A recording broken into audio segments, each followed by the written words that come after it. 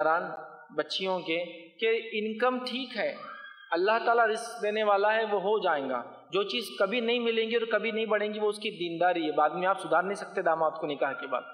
कोशिश करें कि दीनदारी को हम तरजीह दें। होता ही हमारे पास कि लड़कों में जनरली खूबसूरती नहीं देखी जाती है, उसकी इनकम देखी जाती है। एक, समझ लीजिए एग्ज़ाम्पल एक लड़का टेन थाउज़ेंड अर्न करता है, जो कि दीनदार है। एक लड़का है ट्वेंटी थाउज़ेंड अर्न करता है, जो कि कम दीनदार है। तो हिसाब कैसा करता आदमी? इसकी two two lakh forty thousand income इसकी one lakh twenty thousand income अरे बैलेंस शीट में वन लाख ट्वेंटी थाउज़ेंड का लॉस आ रहा। तो वो टू ट्वेंटी वो समझे ना, बीस हज़ार वाले से शादी हो जाएँगी। लेकिन बीस हज़ार वाला उतना दीनदार नहीं है, जुम्मा जुम्मा वाला है, ठीक है? नहीं नहीं, चलता, बच्ची सुधार लेंगी लाने के बाद उसको, बना देंगी, नमाजी परहेजगार, दीनदार। समझ रहे हैं बात को? तो प्रेफरेंस देखिए आप, दीनदारी को नहीं देखिए, क्या कर रहे हैं आप? सैलरी पे कर रहे हैं।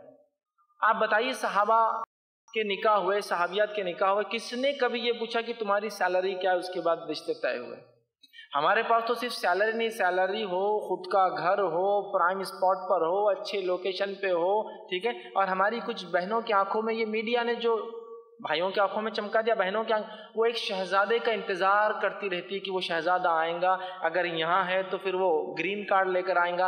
अगर वहाँ है तो फिर कोई ऐसा आएगा जो ज़िंदगी भर मेरे साथ खामोशी की ज़िंदगी गुजार ले ऑलरेडी अगर वहाँ रहते हैं, ठीक है? तो एक ख्वाबों के शहजादे के इंतज़ार में ज़िंदगी और उम्रें गुजरी चली जा रही है। आखिर में अगर शहजादा मिल रहा भी तो पता चला धोखा दे के आया।